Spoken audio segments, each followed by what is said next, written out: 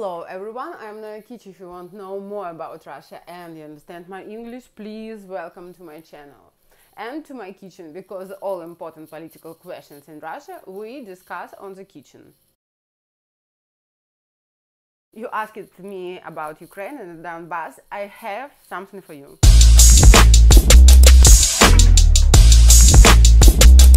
Yeah. Cruel destiny pushed me back to your arms.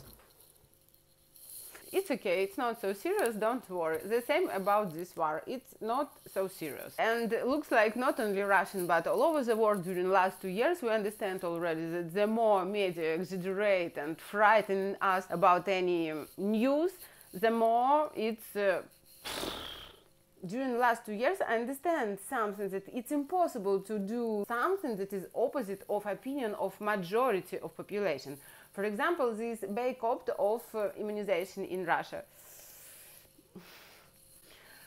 as you see russian people boycott uh, these uh, very useful um, injections of uh, Botox. In conclusion, we didn't have this strong lockdown, yes, this mandatory immunization for everyone. We didn't have it. But in that countries where people were persuaded to accept all that, they paid for that a lot. And for the moment, I explain you the mood of Ukrainian people from Donbass and Russian. Nobody wants this war. We don't expect that. We don't want that. All Russian people and I mean all Slavic people will say, for what I will fight for whom? I don't want this war. In fact, we don't care who are our ma masters. And during the last two years, we divorced it with our state. I explain you. I, I have impression that Russian and Ukrainian people we completely stop to believe in any government, in any Putin, Zelensky. Doesn't matter. We don't want them now everything what we want is want we want to break free. Yes what is the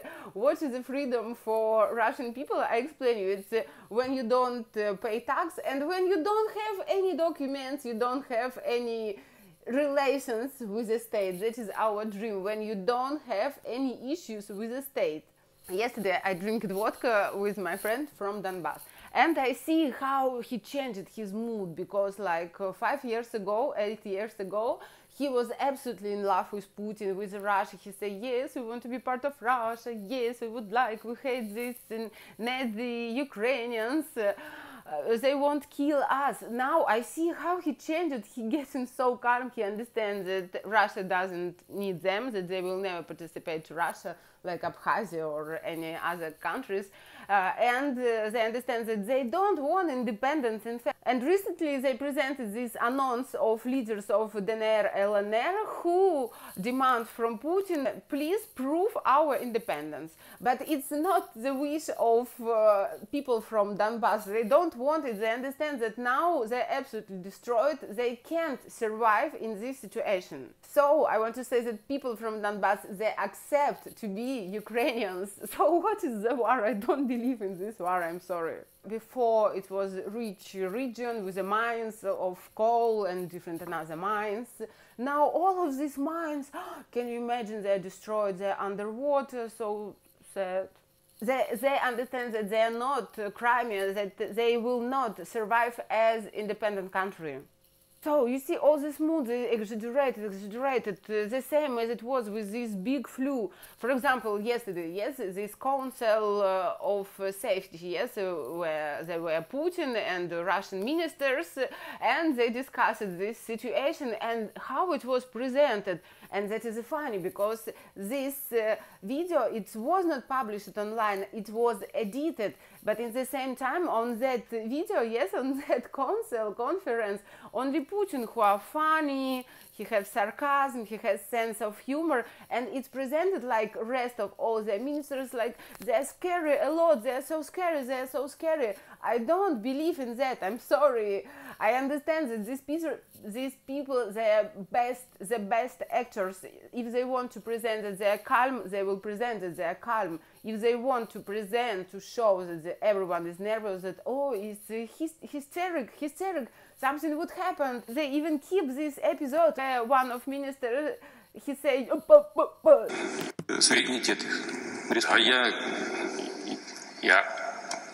Говорите, говорите, говорите прямо. Я поддержу предложение о э, признании... Пред Поддержу или поддерживаю? Говорите прямо, Сергей. Поддерживаю предложение. Так и скажите, а, да, да так или нет. говорю. Да. Поддерживаю предложение о вхождении Донецкой и Луганской народных республик в состав Российской Федерации. Да, да, мы об этом мы об этом не говорим, мы этого не обсуждаем. Мы говорим мы говорим о э, признании их независимости или нет. Да. Я э, поддерживаю предложение о признании независимости. Хорошо, пожалуйста, садитесь. Спасибо. They keep this episode in this video, but this video it was not online. I want to say that they want to frighten us, to present information more danger than it is in reality. In conclusion, I just don't believe in this war. I have impression that it will be like with this big flu. That will be war on TV. I have impression that it will be kind of uh, for, for Russia. It will be advertising of their weapon. Maybe they will uh, uh, got some new contracts for supplying some weapon for Ukraine and USA. It's another reason they need to uti- utilize yes some weapons, old American weapons uh, that now is supplied to, Ukraine. After that, they want to spend some money. I promise you, regular people will not go to the to this war. That will be war of professionals. So I explain you. That will be very expensive movie. Boys just want to pet some Kalashnikov. About sanctions, everyone understands that uh, some now level of sanctions is so high that there is just not, there is no reserve to increase them. You remember I told you that it will be iron curtain that this wall will grow up so you see everything as i say so uh, yes and about the sanctions because majority of the western nations they don't care about Ukraine already. Okay, it was cool to discuss uh, five years ago. Now people just don't care. They say we don't care. That is on another continent. It's very far from us. Give me my salary or give me my rights. What I want.